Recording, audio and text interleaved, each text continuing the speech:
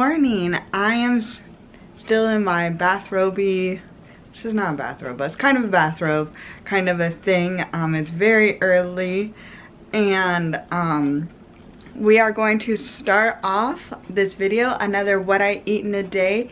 This is, I'm going to have a really busy day, so it is going to be some things that are like quick, pretty easy, but also really healthy and hopefully really delicious.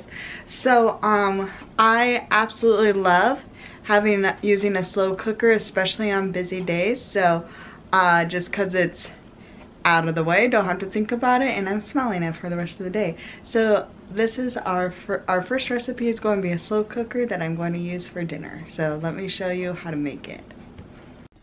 I am going to be making crock pot chicken and stuffing and it is from the Skinnyish Dish. So what you do basically is you have a mix of stuffing and then two of uh, low fat or whatever cream of chicken soup. This is the one at Aldi's that I get. And then you mix it in with half an onion, two ribs of celery, and because I am seemingly incapable of following a recipe, I added some chopped up carrots because I had it and these all go together. So first step is to mix it all together. Alright, in my crock pot, I have two pounds worth of chicken broth or chickens. I sprayed the pan first and then two cups of chicken broth and then here's my oh so appetizing, not, mixture of stuffing, vegetables, and then I'm just going to put it on top of there and yeah. Okay, this is what it looks like. I'm just going to put the lid on. It's on low and I'm going to just come back at dinner. Hello, I'm back and I am showered, all ready for the day. I have this Mickey Mouse hoodie shirt thing on and feeling good. So I haven't been really hungry today. Um, so, but I do want to eat something for breakfast, even though it's pretty late for breakfast, but that's fine. Um, so let me show you what I'm going to have. I am really into strawberries even though it's winter, for some reason strawberries are just tasting so sweet right now, naturally. So I'm just having both of uh, strawberries for zero. Then I have a dollop or whatever of whipped cream. Um, like this is really small. I don't know if you could tell. But um, two tablespoons is zero points. And I'm going to just guess this is two tablespoons. So this is a zero point breakfast. I do not know how to properly um, uh, measure whipped cream. Hey, uh, lunchtime now. So I'm having leftover soup, which I will show you.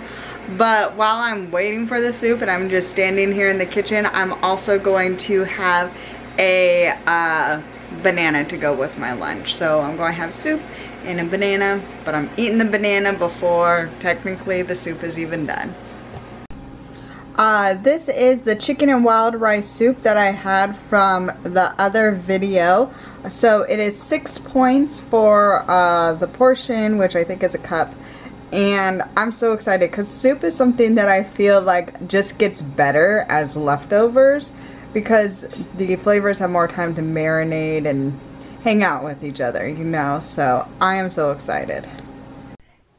It is about 3.30, so I am going to have one of my nice little peanut butter banana oatmeal uh, bakes, I think they're what they're called. Um, I showed them in a video a little while ago and I am actually really really liking them.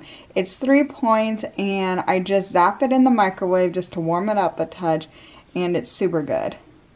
Okay, so I wanted to talk to you guys about another thing and this is, I want to know if you related at all. So, I'm not going to take it down now because it is a scary mess, but my hair, actually maybe, maybe I will. I don't know if you could tell because, but my hair, oh, because it's so gross. Yeah, no, no, no. my hair is super long, okay? So I'm not going to show you exactly how long, but um when my when I am washing my hair and my hair is like wet and it's falling down my back, it's like this far away from the crack and that's too like that's too long for me. That's too long for me. Um so I'm going to have to get my haircut and I feel like I feel like such a weirdo because I have like opposing feelings about getting my hair cut. Like on the one hand, I'm super excited because I I feel like I'm getting like I just like getting my hair cut, you know. I it's been over a year since I get my haircut. I usually get my haircut once a year, maybe twice if I'm like feeling cool or something like that, but generally just once a year. But like I feel generally I feel really excited because like it's just nice the feeling that you get after getting a haircut. Um but I also feel like for some reason going into any like beauty related places makes me feel really self-conscious and really nervous and I don't have like a hair salon or a hair person that I go to. What I actually used to do and I really enjoyed it was that there was a like cosmetology school and I would go and get my hair cut there. It was really cheap. Oh, because I do not like to spend a lot of money on haircuts and like I just really don't because yeah, I just really don't. And I would and one day I would like to teach myself how to cut my hair, which sounds like a disaster. But I have weird dreams, okay? That's just who I am. But um anyway, so I used to go to a hair school and it would take a lot longer. Like it would take forever. And my haircut never has been, probably will never be fancy because I'm just like first of all, I'm really not picky in general. I'm very low maintenance obviously for my hair and I just like I'm very very easy to please like I don't like I and I don't notice things. Like my sister-in-law straightened my hair for me like she did a really good job. She pointed out that I was like oh my hair is pretty uneven. Didn't know. You know I had I had no idea. So it's like I don't I don't think the only bad haircuts I've ever had were when I have made my own mistakes and my decisions. Nothing on anybody there. So i don't like i don't have scarred but i just feel like i get anxious and i get self-conscious and i think maybe it's like the lights in the mirror and you're just staring at yourself because um cause i definitely like go in with some makeup when i go there but like those lights okay this might like i hope someone can relate. I feel like the lights at the hair salon are like the perfect lights for you to see the like little mustache you didn't know you had, you know, or like every single eyebrow hair that's out of place and like don't even get me started on the like crazy chin hairs. And I try very hard to pluck everything uh, before I go and I never I never do a good job. So I feel like I just sit there looking at myself and being like, oh my gosh, this person is judging me. That that basically I like I I put my insecurities and I project them, you know, um, on on that during that. But I so I was going to have I I do not have a good solution for uh my very prolific thick chin hairs or mustache.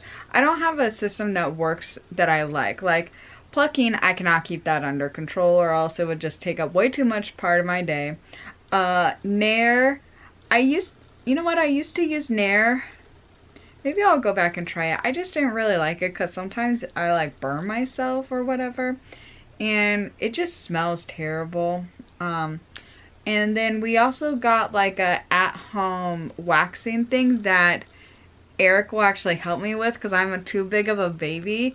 And so he'll actually do it for me. So romantic, I know, right? But there's, there, we have a very, very, very a open and honest marriage. He, yeah, we know, we share it all, you know. Um, but I feel like that does not work as well as I would like it to, and maybe just my husband is not a professional at this. Um, anyway, but I'm trying to just, um, I don't know. I'm also thinking that's like, I'm over 30 years old. Like, who, and I'm happily married and stuff, and my husband loves me for who I am. Like, why do I feel, why do I let myself self feel judged for having weird hairs all over my face, you know, where it's like, who who cares? Even if even if the hairstylist person was or hair what is it called? Stylist maybe?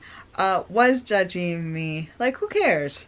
Let like let them judge. If you if you see if you see hair on me in these videos, even if it's like this long, oh wow. You know, it's like it doesn't make me a bad person or whatever. Might make me lazy because most of the my reasons is laziness that I don't I don't do. But anyway uh yeah so I I am excited. I don't think I'm going to do anything crazy. I have really thick hair and so I like to get my hair thinned out because it just grows back um so I'll probably get my hair thinned and layered and then cut short I'll probably like when it's curly I probably want maybe like here. Um, maybe about a little over shoulder length is what I'm thinking. But honestly, like you see me with my hair up all the time. Uh, I feel it's fancy or special occasions where I wear my hair down um, because my my hair is very coarse and very itchy. It's just the texture of my hair and so I do not like my hair touching me. I am high maintenance in some areas, okay? I will, I do not want to try to pull you about that. Anyway, it's exciting. It's, I, I'm excited. Also, oh my gosh, gray hairs.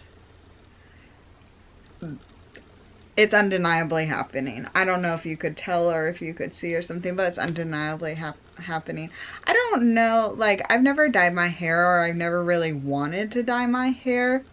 And a part of me wants wants to never have dyed my hair and just see what it goes naturally. But I don't I don't know exactly how I feel about that. But um yeah, but they're there. 31 definite definite gray hairs. Who cares though, right? It's just it's just hair, hair on my face, hair on my head, hair everywhere, just hair. Dinner's smelling so good, guys. All right, I'm going to ramble if I don't stop now. I'll talk to you guys when where I'm starting to do dinner. I decided that I wanted to make uh, the my mom's green bean casserole. If you don't know the steps, it's very, very, very easy. Uh, well, not casserole, skillet, I don't know. My mom's green beans. Uh, if you do not know, um, if you look for my like Thanksgiving food, uh, I will show you, that's where I show you how to make it. Look for that video. But it's so good. Let me, and look at it. Is it weird that I think this is beautiful? I really do. I, it has bacon, it has mushrooms, it has green beans, it has onions, and I just think this is a beautiful work of art, if I do say so myself. And it's easy, and it is one point. Here is my dinner. I have one point for green beans. And I don't know if you could tell, but under here is um, about a cup of rice. And then on top of it, I have a cup of the green bean stuffing casserole. I'm not to lie, this green bean stuffing casserole is not what I pictured it, right? It does not look that appetizing. So we'll see. I will let you know how it turns out, how it tastes. Well, I am sorry to say that I will not be recommending that crock pot chicken and stuffing. It was such a disappointment because I wanted like the flavoring and I wanted the texture and I wanted the niceness of like the stuffing but it really like was just like a pile of mush. Like it it was fine. Like Uh, it was fine. It like it tasted good but nothing like nothing special or nothing really like specific or whatever. But it was good over rice and then the green bean casserole or green my mom's green beans. Please be sure to try it. Yeah. Anyway it honestly it was a cheap it was a cheap meal and it was really easy and it did smell good. It just didn't have that texture of stuffing and that nice crunchiness that I was wanting to Anyways, well, thank you so much for sticking with me through the good and the bad. If you're new, please hit the subscribe button and give this video a like. And thank you for watching. I'll see you next time. Bye.